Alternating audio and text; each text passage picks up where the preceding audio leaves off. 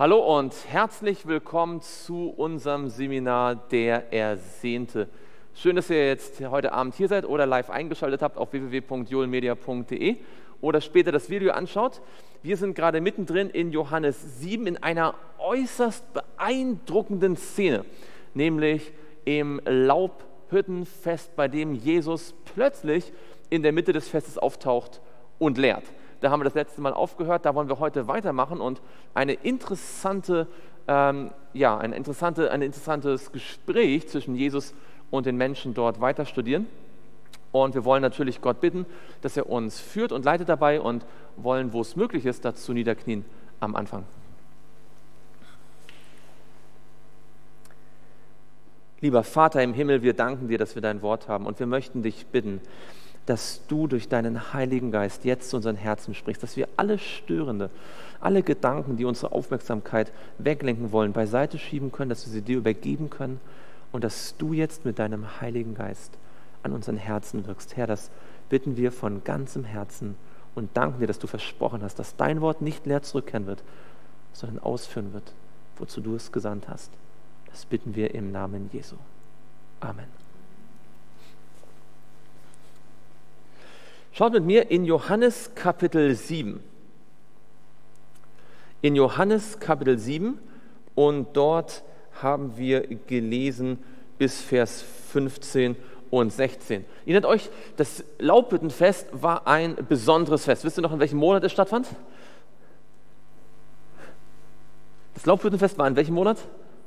Im siebten Monat, das war September, Oktober unserer Zeit, im Herbst, Jesus hatte noch ein halbes Jahr bis zur Kreuzigung, haben wir gesehen. Ja? Und er kam nicht mit allen Galiläern auf dem normalen Weg. In den ersten Tagen des Laubhüttenfestes hat man ihn gesucht, man hat ihn nicht gefunden. Er kam extra, er kam geheim, er wollte kein Aufhebens machen, denn er wusste, er wird dort schon gesucht. Viele Leute sind gekommen, um ihn zu sehen und die Obersten wollen ihm nach dem Leben trachten.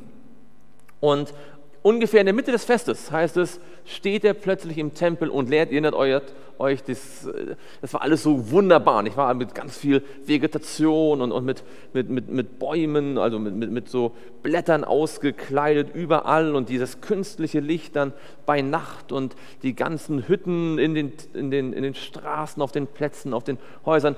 Äh, tausende Menschen, die gesungen haben. Es war eine ganz außergewöhnliche Atmosphäre und mitten hinein äh, stellt sich jetzt Jesus in den Tempel und lehrt. Und äh, wir haben gesehen, er lehrt wie kein Prediger jemals zuvor mit einer solchen Vollmacht und mit einer solchen Überzeugungskraft.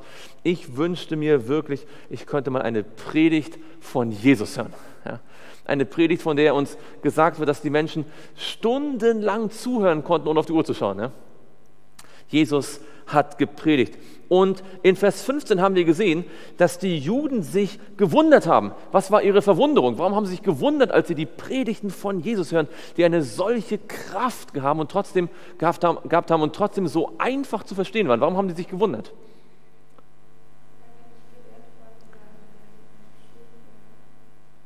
Genau, woher kennt dieser die Schriften? Er hat doch nicht studiert. Er war auf keinem theologischen Seminar, hat keinen akademischen Grad. Jesus hatte nicht mal einen Grundschulabschluss. Ja? Und Jesus predigt über die Bibel wie nie ein Mensch zuvor und auch nie ein Mensch danach. War das schon mal vorgekommen, dass die Menschen sich gewundert haben über die Tiefe der biblischen Auslegung von Jesus? Hat es das schon mal gegeben? Als er wie alt war? Als er zwölf Jahre alt war. Und wo war das gewesen? Im Tempel, auch im Tempel, ja. Ähm, also schon viele Jahre zuvor hatte Jesus schon als Zwölfjähriger gezeigt, dass er die Bibel, und das war in dem Fall noch das Alte Testament, besser verstand als die Professoren. Das waren berühmte Professoren, das waren, waren, Leute, die in der ganzen Welt, also die Juden aus der ganzen Welt, kamen nach Jerusalem, um deren Weisheit zu hören, äh, deren vermeintliche. Jesus war denen schon überlegen und hat ihnen mit Fragen über das Evangelium äh, gezeigt, dass er die Prophezeiung aus Jesaja 53 zum Beispiel besser verstand als sie selbst, weil sie ja immer nur diesen politischen Aspekt hatten, ja immer nur auf den, den Befreier von den Römern gewartet haben. Also, das ist etwas, was wir schon immer wieder bei Jesus gesehen haben. Ähm, diese selbe Frage findet sich auch, als er in Nazareth gewesen ist. Schaut mal mit mir in Matthäus Kapitel 13. Matthäus 13 und dort Vers 54. Matthäus 13, Vers 54, da kommt er dann nach einiger Zeit mal wieder in seine Stadt Nazareth. Da heißt es in Matthäus 13, Vers 54, und als er in seine Vaterstadt kam, lehrte er sie in ihrer Synagoge, sodass sie staunten und sprachen, was haben sie gesagt? Genau, das, das sagen sie auch in, in anderen Stelle, in Parallelstelle, aber hier heißt es, also es kommt in Vers 55 dann, woher hat dieser solche Weisheit und solche Wunderkräfte? Sie hatten ja gesehen, dass er Tag für Tag was eigentlich gemacht hatte, als er, als er Jugendlicher war und junger Erwachsener? Er war Zimmermann gewesen. Er hatte äh, Tische und Stühle und, und so Werkbänke hergestellt. Ja? Und sie fragen sich, wenn er Tag ein, Tag aus sich mit Handwerk beschäftigt hat, woher kennt er das Alte Testament? Warum kann er Jesaja und Jeremia und 5. Mose so gut auslegen? Das zeigt uns auch, dass die Tatsache, dass wir einen ganz normalen Beruf haben und Tag ein, Tag aus unserem normalen Beruf nachgehen oder nicht wahr, den Alltagspflichten, wir trotzdem Gottes Wort sehr gut verstehen können. Ja? Jesus hat nie gesagt, ich kann meinen alltäglichen Pflichten nicht nachgehen, weil ich muss stundenlang jetzt einfach nur studieren. Das ist sehr interessant. Ja? Wir denken immer Studium und Alltagspflichten oder tagtägliche Pflichten, das verträgt sich nicht so wirklich. Aber Jesus ist genau das Gegenteil. Die Menschen haben das auch nicht verstanden. Die haben gesagt, wie kann das sein? Ja? Er, der hier als Zimmermann eine Lehre gemacht hat und dann als Zimmermann gearbeitet hat, woher kann der so gut predigen? Das war die Frage der, der Menschen in Nazareth, das war die Frage der Menschen in Jerusalem, das war schon die Frage der Obersten, als Jesus zwölf Jahre alt war. Wie ist das möglich? Hm?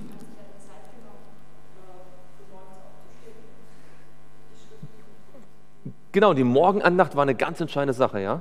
Ähm, wer sich Zeit nimmt am Morgen und auch am Abend, um mit Gott zu reden, den kann Gott auch in kurzer Zeit weitaus mehr beibringen, als wenn ich aus eigener Kraft den ganzen Tag versuche, theologisch, äh, aus theologischen Büchern mir mein Wissen anzuhäufen. Das ist ein ganz wichtiger Punkt. Ähm, die Morgenandacht war natürlich ganz entscheidend.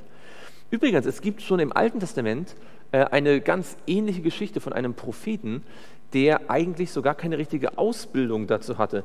Äh, weiß jemand von euch, welcher Prophet sagt selbst von sich, ich bin eigentlich gar kein Prophet, ich bin auch gar kein Prophetensohn, aber Gott hat mich trotzdem berufen. Es gibt einen Prophet, der sagt, ich bin kein Prophet, ich bin auch kein Prophetensohn, aber Gott hat mich berufen zu Weissagen. Und zwar ist das der Amos. Schaut mal mit mir in Amos 7. In Amos 7.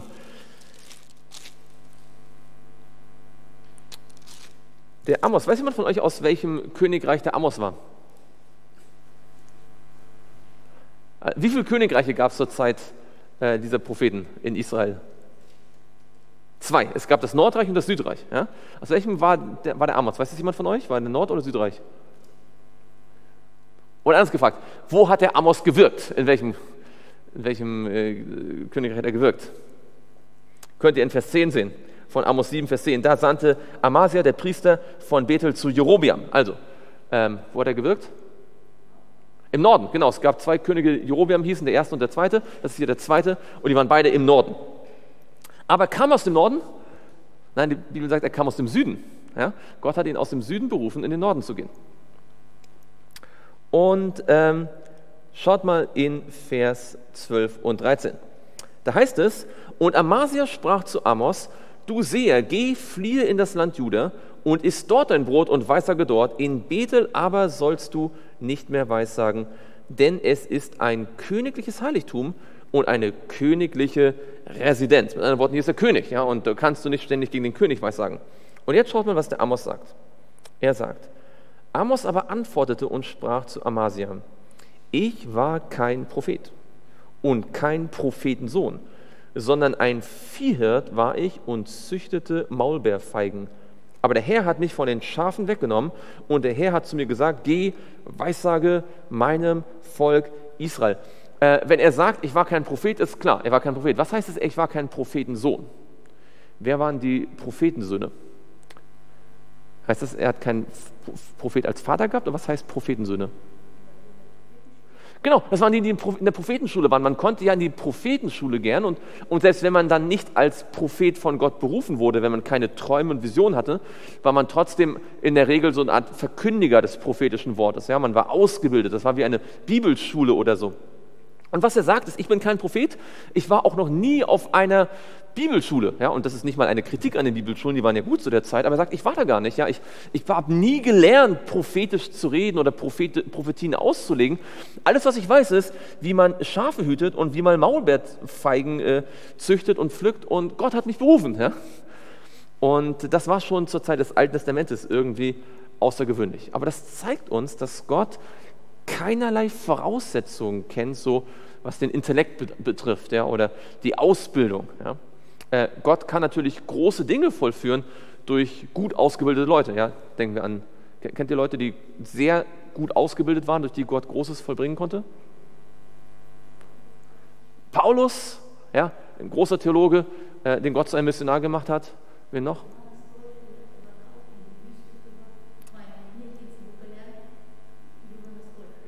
Johannes Täufer, nee, genau, der hat bei Gott gelernt, genau. Aber ich meinte gerade Leute, die eine große Ausbildung gehabt haben. Mose zum Beispiel auch, ja. Mose, äh, in aller Weisheit der Ägypter, ausgebildet, sagt die Bibel. Johannes der Täufer ist ein gutes Beispiel auch für das, was wir gerade angeschaut haben. Genau.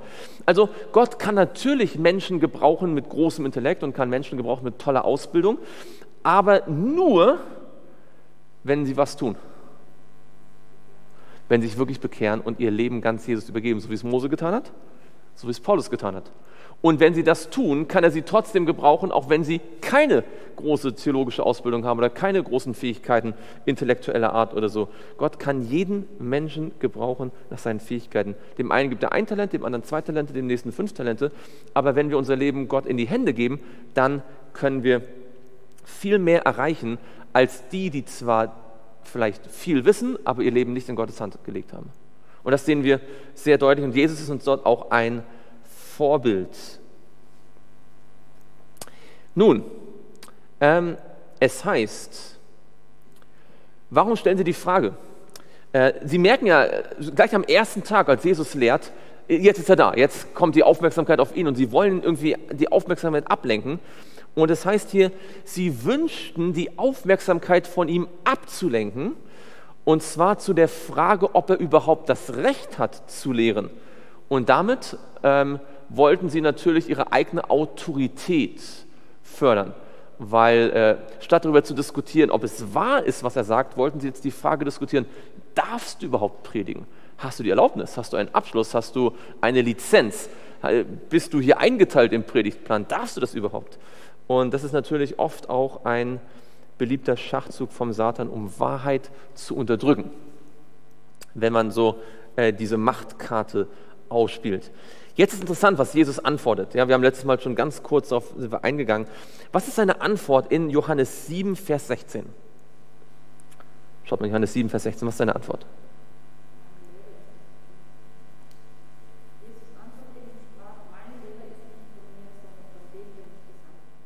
Genau. Was ist also seine Antwort eigentlich auf die Frage, woher kennt dieser die Schriften? Er hat doch nicht studiert. Was ist sein Punkt, den er machen möchte? Er sagt, ich hatte einen Lehrer. Ich hatte den besten Professor, den es gibt. Ich hatte, ich hatte einen Lehrer, den sonst niemand, also den, einen besseren Lehrer kann man nicht haben. Ich hatte Gott den Vater als Lehrer. Ja, ich, ich muss mich erinnern, jemand hat mir mal erzählt ähm, von einem, einem Prediger, der, der keine Theologie studiert hatte. Ich, weiß nicht genau die Details, aber jedenfalls der Punkt war, er wurde dann gefragt, woher denn dieses Bibelwissen hatte, ja, wer ihn ausgebildet hat. Und dieser Mann hat dann wohl gesagt, ich bin von dem unterrichtet worden, der dem Adler beigebracht hat, seinen Kindern Fliegen beizubringen. Ja, dieser Gott, der so etwas kann, ja, der dem Adler beibringen kann, wie er den Kindern, seinen, seinen, seinen, seinen, seinen Adlerkindern äh, das Fliegen beibringen kann, der Gott, der so ein toller Lehrer ist, dass er das dem Adler beibringen kann, das ist mein Lehrer. Ja, und ähm, das ist das Interessante. Ähm, wenn wir wissen und glauben, dass Gott real ist, dann gibt es keinen besseren Lehrer als ihn. Dann sind wir zwar dankbar, auch für alle anderen Menschen, die uns vielleicht hier und das andere noch, noch helfen zu verstehen, aber es gibt keinen besseren Lehrer als Gott. Einer meiner Lieblingsverse in der Bibel ist Psalm 119, Vers 99. Und ich glaube, zu wenige von uns nehmen den buchstäblich für sich in Anspruch. Dort steht nämlich, ich bin verständiger geworden als alle meine Lehrer. Und jetzt kommt's. Nicht, weil ich mich selbst für klug halte, nicht, weil ich gegen Wissen bin. Das gibt es leider manchmal auch, auch in der Gemeinde, dass Leute sagen, hm, Bildung, Quatsch, brauche ich nicht. Ja? Ich, bin, ich bin Christ, ich bin Adventist, ich, ich habe äh, ich, ich hab ja die Bibel im Schrank, was muss ich mich bilden, was muss ich irgendwie lernen? Ja, brauche ich gar nicht. Ja, ich weiß. Und dann, dann, dann erzählen die manchmal großen Quatsch ja, und, und, sind noch stolz darauf, dass sie nicht so viel wissen oder so. Ja? Hm, darum geht es gar nicht. Er sagt nämlich, ich bin verständiger geworden als alle meine Lehrer, denn deine Zeugnisse sind mein Überlegen.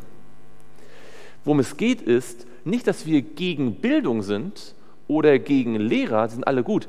Wir wollen nur äh, klar in unserem Kopf verstehen, wer der beste Lehrer ist. Und bei dem müssen wir dann auch wirklich lernen. Es nützt nichts, wenn ich sage, oh, ich, ich brauche keine theologische Ausbildung, wenn ich dann aber nur zu Hause vor dem Computer sitze und, und vor, dem, äh, vor, vor YouTube oder äh, irgendwo und nicht mit Schrott zu, zu, ähm, zuschütte, dann wäre es besser, wenn ich Theologie studiert hätte. ja? Versteht ihr, wie ich meine? Ähm, zu sagen einfach nur, ich bin ein Laie und, und ich brauche das alles nicht, ähm, ist nur die halbe Wahrheit. Äh, das kann ich nur dann sagen, wenn ich wirklich die Bibel zu meinem Lehrbuch mache und nicht nur so ab und zu mal einen Vers lesen, damit ich mich wieder gut fühle. Ähm, nein, wirklich zu meinem Lehrbuch, damit Gott mich wirklich lehren kann. Das, was Jesus gemacht hat, du hast ja gesagt, er hat sich täglich die Zeit genommen, um wirklich zu lernen. Er wusste, dass das, was er sagt, hat er sich nicht selbst irgendwie erarbeitet und selbst ausgedacht, sondern er hatte einen Auftrag. Er wusste, das, was ich sage, hat Gott mir gezeigt. Schaut mal mit mir in Jesaja. Und zwar in Jesaja Kapitel 50, dort wird das genau beschrieben, was du gesagt hast. Jesaja 50 und dort Vers 4.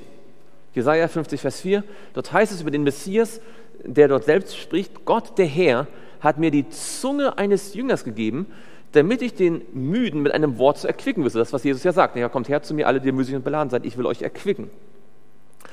Er weckt morgen für morgen, ja, er weckt mir das Ohr, damit ich höre, wie? Jünger hören. Was ist ein anderes Wort für Jünger?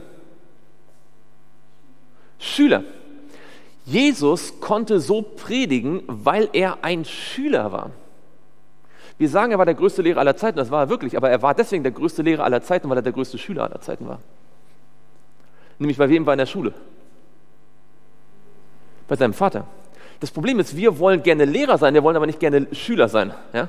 Wir wollen gerne anderen sagen, wie, wie die Wahrheit ist, wir wollen anderen erzählen, was wir wissen, aber wir können nur das wirklich weitergeben, was wir selbst gelernt haben. Und wenn Jesus, der Gott in Fleisch gewesen ist, Schüler geworden ist, und gesagt hat, jeden Morgen, lieber Vater, lehre mich. Er, der dieses Buch selbst inspiriert, durch den Heiligen Geist inspiriert hat, er, der die, äh, der die, die, die, die, die Bäume geschaffen hat, die Tiere geschaffen hat, er hat gesagt, ich bin dein Schüler, bitte lehre mich. Und wenn Jesus das machen musste, um so predigen zu können und so ein Missionar sein zu können, wie viel mehr wir? Also, schauen wir weiter in Johannes Kapitel 3 und dort Vers 11.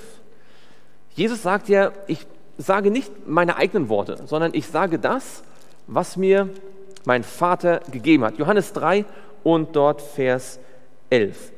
Ähm, dort heißt es, Johannes 3, Vers 11, wahrlich, wahrlich, ich sage dir, wir reden, was wir wissen und wir bezeugen, was wir gesehen haben und doch nehmt ihr unser Zeugnis nicht an. Warum sagt Jesus, dass er sich sicher ist, dass das, was er sagt, die Wahrheit ist?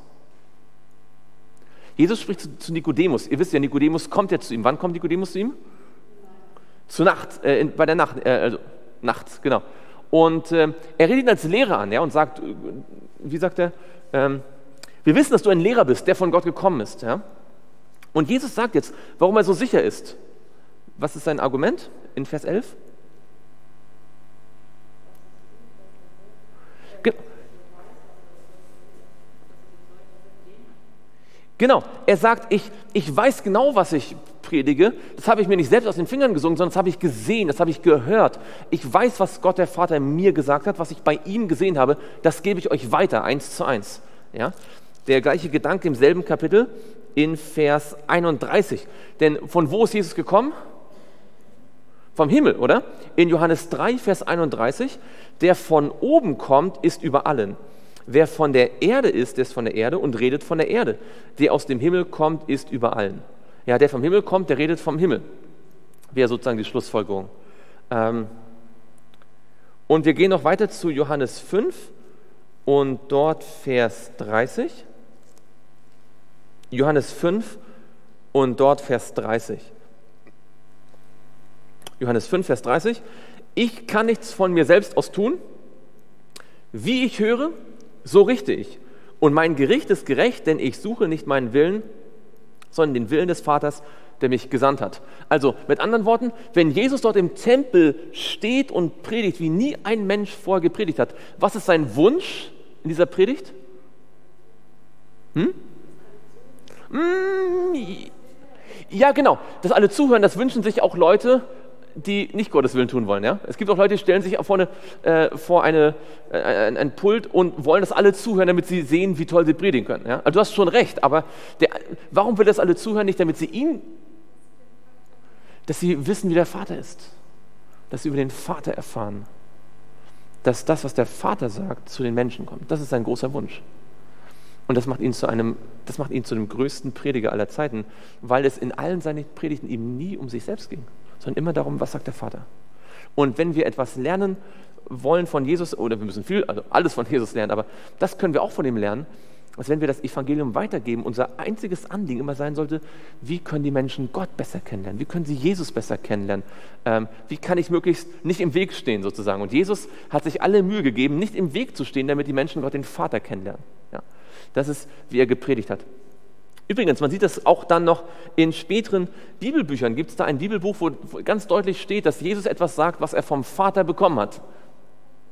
Die Offenbarung, ja, die Offenbarung Jesu Christi, die Gott ihm gegeben hat. Ja?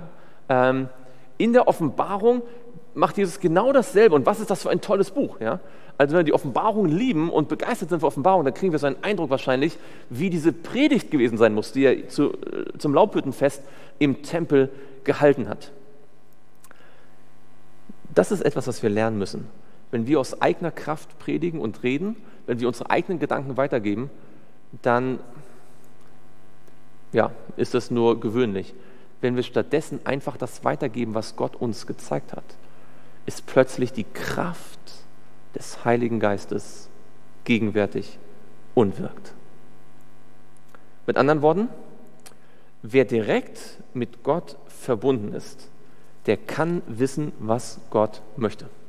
Man muss nicht Theologie studieren, um zu wissen, was Gott möchte. Man muss keine Expertenmeinung gehört haben, um zu wissen, was Gott möchte. Was muss ich tun, um zu wissen, was Gott möchte? Ich muss ihn fragen, Herr, was möchtest du? Das ist ja die Frage, die er sich wünscht, dass wir ihm stellen. Und er ist mehr als bereit, sie zu beantworten.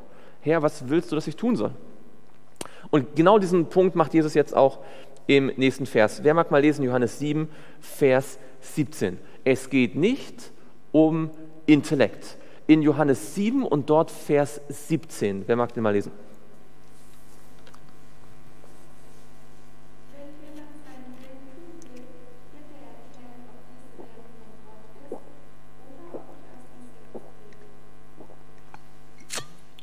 Ganz genau. Also, was ist sein, was ist dein, äh, was ist seine, sein Argument hier in Vers 17? Woran kann, woran kann man erkennen, ob die Lehre wahr ist oder falsch? Genau, er sagt, es ist die Aufrichtigkeit. Der Wille zum Gehorsam. der führt dazu, dass ich Wahrheit erkenne.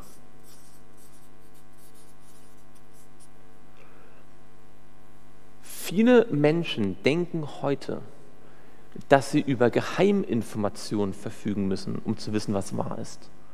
Oder sie denken, sie müssten über viele Informationen verfügen, um zu wissen, was Wahrheit ist. Aber Jesus sagt, wir brauchen Jesus sagt nicht, wir brauchen viele Informationen. Er sagt auch nicht, wir müssen geheime Informationen haben. Er sagt auch nicht, wir müssen ewig lang im Internet recherchieren, damit wir endlich die Wahrheit kennen. Es ist alles irrelevant. Um die Wahrheit kennenzulernen, brauchen wir was? Die Bereitschaft zu gehorchen. Denn nur dem, der gehorchen will, kann Gott die Wahrheit, weitere Wahrheit zeigen, weil wenn er gar nicht gehorchen will, was nützt ihm die Wahrheit? Nur dem, der gehorchen will, kann Gott auch die Wahrheit zeigen, denn dann wird er sie auch umsetzen. Und deswegen ist es aus Gottes Sicht gar nicht wichtig, wie klug wir sind oder wie viel wir wissen. In Jesaja 35 und dort Vers 8. Ein ganz, ganz toller Vers, der mir viel bedeutet. Jesaja 35 und dort Vers 8, dort heißt es, und eine Straße wird dort sein und ein Weg. Man wird ihn den heiligen Weg nennen. Kein Unreiner wird auf ihm gehen, sondern er ist für sie, die auf dem Weg wandeln, selbst Einfältige werden nicht irre gehen. Also, was Gott sagt, mit anderen Worten, was, was will Gott eigentlich sagen hier in Vers 35, äh, Kapitel 35, Vers 8? Was will er eigentlich, was ist so die Kernaussage von diesem Vers?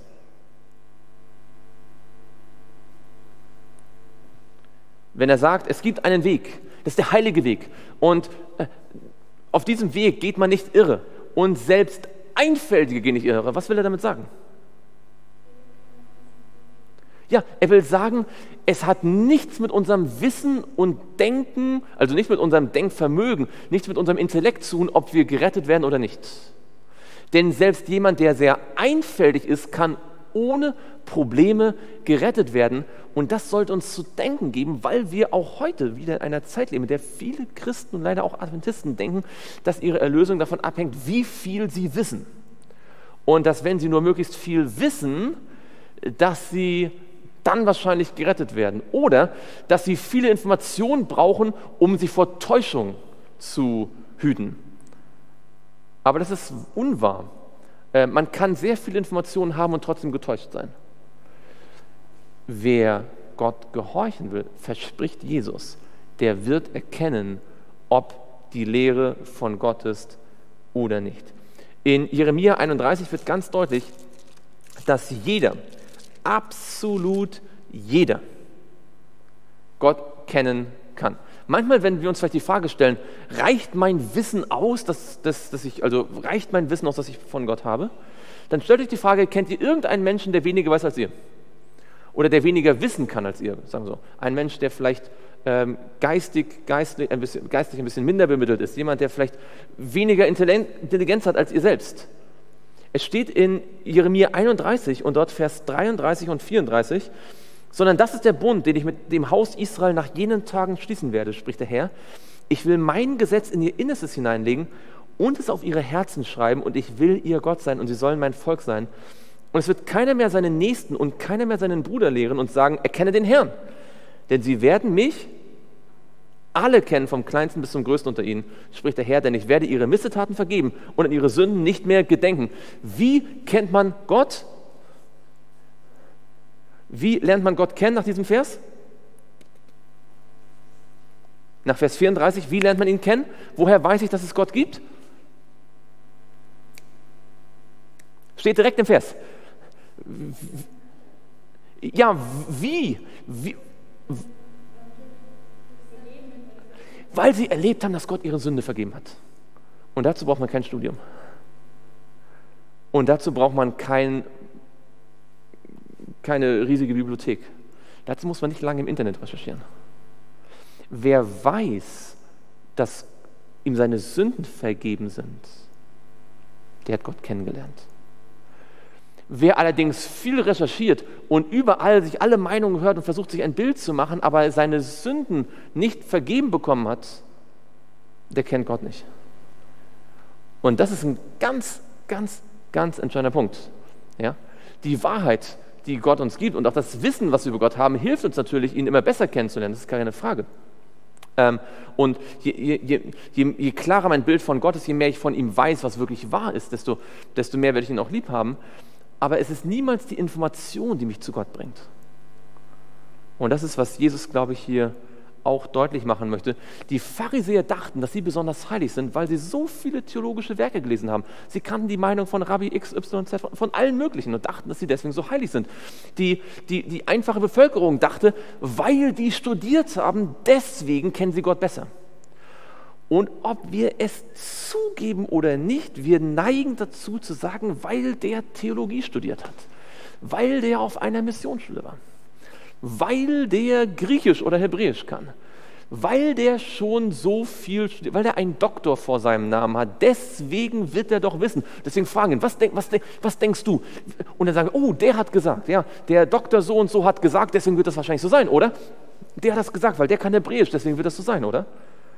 Und ich hoffe, ihr merkt, was ich ausdrücken möchte. Nichts verkehrt gegen Doktor, nichts verkehrt mit aber wenn wir denken, dass jemand Gott besser kennt, weil er eine Sprache gelernt hat oder weil er einen Doktortitel hat, dann haben wir dieses Prinzip von Jesus nicht verstanden. Jesus sagt, wer gehorsam sein will, der kennt die Wahrheit. Und nichts auf dieser Welt, kein Theologiestudium, kann das ersetzen. Und wehe uns, wenn wir das äh, in unserem Denken dadurch ersetzen. Ähm, Schauen wir in Psalm 119 noch. Da sieht man diese Idee und natürlich, wie so oft, ist das, was Jesus hier sagt, ähm, natürlich aus dem Alten Testament wieder auch herausgenommen. Psalm 119. Wir haben ja gerade über Vers 99 gesprochen, wo es heißt, ich bin verständiger geworden als alle meine Lehrer, denn über deine Zeugnisse sinne ich nach. Schaut mal Vers 101 und 102. Da wird dieser Gedanke noch weiter gesponnen. In Psalm 119, Vers 101 und 102. Dort heißt es, ich halte meine Füße fern von jedem bösen Weg, damit ich dein Wort befolge. Von deinen Bestimmungen bin ich nicht abgewichen, denn du hast mich gelehrt. Könnt ihr sehen, was sagt, Psalm, was sagt Vers 109, äh, Vers, Vers 101?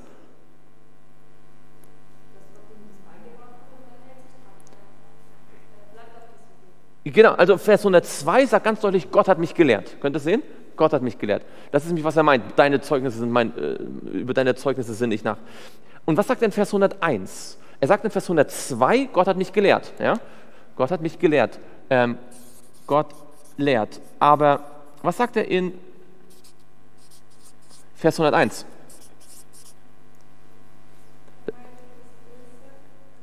Genau, er meidet das Böse, er, er will nicht abweichen. Wie könnte man das auch nennen? Er will gehorsam sein und deswegen kann Gott ihn lernen.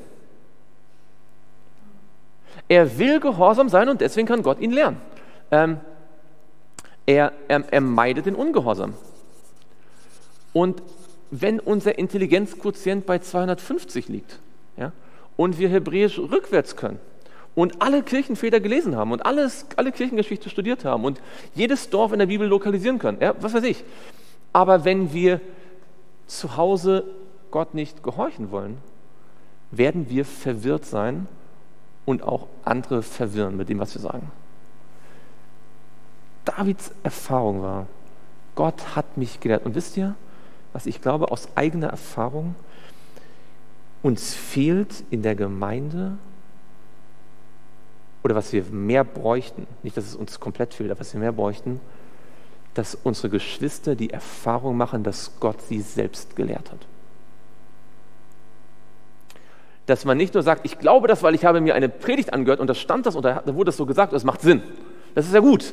Aber die Predigt ist ja immer eigentlich nur ein Hinstupsen, dass man sagt, beschäftige dich selbst damit. Ja? Paulus predigt, damit die Beroeaner selbst die Bibel studieren, damit Gott sie lernen kann. Er predigt nicht, damit die Bereaner einfach von Paulus alles abkopieren. Und was Gott sich wünscht, ist nicht, dass wir sagen, wir haben hier fünf Lieblings-YouTube-Prediger und die sagen uns, was wir glauben sollen, sondern dass jede Predigt, die ich höre, eigentlich dazu führt zu sagen, ich will es selbst besser verstehen. Herr, du musst mein Lehrer sein. Und es ist vollkommen egal, wer ich bin, es ist vollkommen egal, äh, wie viel ich weiß oder wie lange ich Erfahrung habe. Äh, Gott ist mehr als, also meine Erfahrung ist, Gott ist mehr als willig, jedem von uns etwas beizubringen aus seinem Wort, was wir, von dem wir sagen können, das hat Gott mir gezeigt. Und also zumindest mir geht es so, die Dinge, die, ich, die Gott mir gezeigt hat, die predige ich mit viel mehr Enthusiasmus als die Dinge, die ich vielleicht irgendwo in einer Predigt nur gehört habe und gemerkt habe, oh, da habe ich kein Gegenargument, das stimmt vielleicht. Ja? Aber die Dinge, die Gott mir gezeigt hat, wo ich gemerkt habe, er führt mich Schritt für Schritt und in der Morgenandacht ja, oder, oder beim Bibelstudium sehe ich, wie Gott mir etwas zeigt, da ist es viel fantastischer, weil das sind Momente, in denen wir uns erneut bewusst machen, wie sehr Gott uns lieb hat und wie er für uns da ist und dass er ein Interesse an uns hat, oder?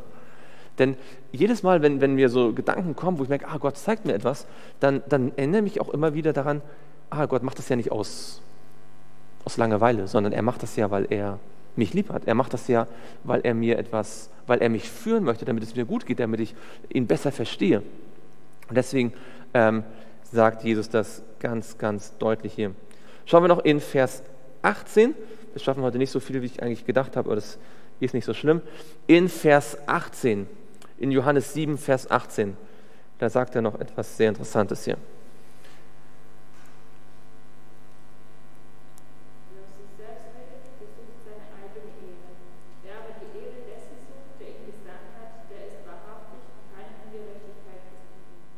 Genau, das ist auch ein interessanter Punkt. Ähm, Jesus sagt ja, was ich sage, kommt nicht von mir, sondern kommt von Gott dem Vater. Ja? Jetzt dreht er quasi den Spieß um. Ähm, was passiert, wenn jemand eben nicht das lehrt, was Gott ihm gesagt hat, sondern seine eigenen Gedanken? Was passiert dann? Er stellt sich selbst in den Mittelpunkt. Und was wird passieren, wenn man ihm widerspricht? Er wird sich persönlich angegriffen fühlen. Und jetzt denk mal scharf nach. Fast alle theologischen Diskussionen, die es gibt, haben oft damit, damit zu tun, dass Leute sich persönlich angegriffen fühlen. Ja, da kommt dann das Ich habe aber gesagt, ja. Ähm, und wenn das so ist, dann könnte das sein, dass die Existenz vieler theologischer Diskussionen ein Beweis dafür ist, dass wir im Wesentlichen oft nur das weitergeben, was andere uns gesagt haben oder unsere eigene Meinung weitergeben, aber nicht das, was Gott uns gezeigt hat. Denn wenn ich das weitergebe, was Gott mir gezeigt hat, werde ich nicht persönlich angegriffen sein, denn ich weiß, ich habe daran keine eigene Aktie. Ich gebe es ja nur weiter. Und wenn jemand dagegen kämpft, kämpft er nicht gegen mich, sondern gegen Gott. Aber leider ist es oft zu oft, dass wir dann doch unsere eigenen Ideen haben, unsere eigenen. Und das klingt dann irgendwie vielleicht ganz toll und das macht auch alles Sinn. Und wenn jemand dagegen ist, dann fangen wir an zu diskutieren und zu kämpfen. Übrigens ist das auch ein Grund, warum Irrlehrer einen Hang zur Selbstdarstellung haben. Weil Irrlehrer natürlich nicht das predigen, was Gott ihnen gezeigt hat, sondern was sie aus ihrem eigenen Herzen erdacht haben, ja, ihre eigenen Verführung. Und deswegen werdet ihr sehen, dass Menschen, die Irrlehren verbreiten, meistens auch auf die eine oder andere Form so eine besondere Form von Stolz ausprägen ja, und sich selbst irgendwie erhöhen in, in der einen Form oder der anderen. Aber kam Jesus auf die Erde, damit die Leute ihn ehren? Kam er auf die Erde, damit er erhöht wird? Nein, die Bibel sagt genau das Gegenteil. Er kam auf die Erde, um sich zu erniedrigen, um den Vater zu erhöhen, um den Heiligen Geist zu erhöhen. Ja? Und äh, schauen wir noch in 1. Petrus, Kapitel 4. 1. Petrus, Kapitel 4 und dort Vers 11. Das ist ganz interessant, was hier steht, was äh, Petrus sagt. 1. Petrus, Kapitel 4, Vers 11. Dort steht, wenn jemand redet, so rede er was? Oder als? Als Aussprüche Gottes. Wenn jemand dient, so tue er es aus der Kraft, die Gott darreicht damit in allem Gott verherrlicht wird durch Jesus Christus. Ihm sei die Herrlichkeit und die Macht von Ewigkeit zu Ewigkeit. Amen. Ich glaube, da sollte man über den Vers mal kurz nachdenken. Wenn jemand redet, so rede er als Aussprüche Gottes. Also damit will Petrus nicht sagen, dass wir alle Propheten sein müssen, damit wir überhaupt den Mund aufmachen. Aber wenn wir reden, reden wir das, von dem wir überzeugt sind, dass Gott uns das gezeigt hat? Oder reden wir nur unser eigenes Geschwätz? Wenn wir dienen, dienen wir, weil Gott uns Kraft dazu gibt oder dienen wir, um andere zu beeindrucken, wie sehr wir dienen? Ja? Die Pharisäer haben an Gott geglaubt, ähm, aber sie haben geredet, äh, was sie sich selbst ausgedacht haben, und sie haben gedient, um anderen zu zeigen, wie toll sie dienen. Was Petrus sagt, ist, nee, nee, wenn wir reden, lasst uns sicherstellen, dass das, was wir reden, uns Gott gezeigt hat. Und wenn wir zu dem Thema gerade nicht wissen, was Gott sagt, was könnte man dann tun? Schweigen. Ja, wirklich. Und wenn Gott zu dem Thema gar nichts gesagt hat, dann ist vielleicht wirklich Schweigen Gold, anstatt dass wir mit unserer eigenen Meinung die Gemeinde spalten. Also ich hoffe, ihr versteht, worauf ich anspiele und was ich sagen möchte. Ähm, und wenn wir dienen, dann nicht aus eigener Kraft, weil, schaut mal, wenn ein Mensch auch in der Gemeinde etwas tut und er tut es aus eigener Kraft, dann wird er meistens unzufrieden sein, wenn er nicht dafür geehrt wird. Er wird dann irgendwie sich beschweren. Keiner ist dankbar, nicht wahr? Und das geht uns ja manchmal selbst so. Also mir geht es manchmal so, dass man dann irgendwie vielleicht unzufrieden ist ach, warum, warum, sieht das keiner oder warum sind Leute so undankbar oder so. Aber es ist dann ein untrügliches Zeichen, dass wir gerade aus eigener Kraft arbeiten. Weil wenn wir aus Gottes Kraft arbeiten, dann ist es seine Sache, das ist seine Ehre. Und wie oft sollen wir aus Gottes, zur Ehre Gottes leben? Was sagt die Bibel? Ob ihr esst oder trinkt, was immer ihr tut, tut alles zur Ehre Gottes. Ja? Und das heißt, ich muss auch nur das tun. Das wäre dann die Kehrseite. Ich muss auch nur das tun, was Gott mir aufgetragen hat. Und also, weiß nicht, wie es euch geht. Ich glaube, manchmal geht es mir so, dass ich mehr mache, als Gott mir aufgetragen hat. Ja? Ähm, und das kann manchmal auch passieren, dass wir einfach so geschäftig werden und so viel tun, dass wir denken, oh, das ist alles ganz wichtig. Und wir tun das dann aus eigener Kraft. Aber was Jesus hier deutlich macht, er hat nur dann gepredigt, wenn Gott es ihm gezeigt hat. Und das gepredigt, was Gott ihm gezeigt hat. Und nur so gedient, wie Gott ihm Kraft gegeben hat. Und nicht mehr. Und nicht weniger. Und das hat die enorme Kraft in seinem Leben ausgemacht. Ich wünsche mir für mich selbst, und vielleicht wünschst du das auch, dass wir davon lernen. Und dass wir uns die Frage stellen, ist das, was ich tue, wirklich Gottes Wille? Oder tue ich das einfach nur aus Routine oder weil ich es mir selbst, selbst auferlegt habe? Ist das, was ich sage, wirklich das, was Gott mir gezeigt hat? Oder sind es nur meine eigenen Gedanken, die vielleicht eher schädlich sind als ähm, hilfreich? Wollen wir Gott bitten, dass er mir und uns allen diese Weisheit schenkt, das zu erkennen und dann im Alltag auch Tag für Tag auszuleben? Dann lasst uns auch gemeinsam niederknien und beten.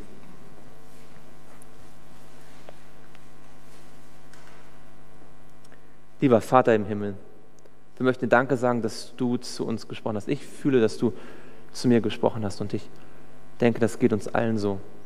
Wir alle wissen, es gibt Zeiten, wo wir Dinge gesagt haben und getan haben, die aus unserer eigenen Kraft waren und nicht aus deiner. Und Herr, wir sehen das, dass uns das immer wieder passiert und möchten dich um Vergebung bitten und um Kraft und Weisheit noch viel mehr von unserem himmlischen Vater zu lernen. Herr, wir möchten dich bitten, dass du uns hilfst, dass wir so wie du auf dieser Erde gelebt hast, wir uns daran ein Beispiel nehmen und aus, aus deiner Kraft leben. Herr, wir danken dir, dass wir wissen dürfen, dass ähm, es nicht auf unseren Intellekt, nicht auf unsere Fähigkeiten, nicht auf unsere körperliche Kraft ankommt, sondern auf unsere Bereitschaft, Schüler zu sein, unsere Bereitschaft, gehorsam zu sein. Herr, lass uns echte Schüler und echte Diener sein. Durch deinen Geist, das bitten wir im Namen Jesu. Amen.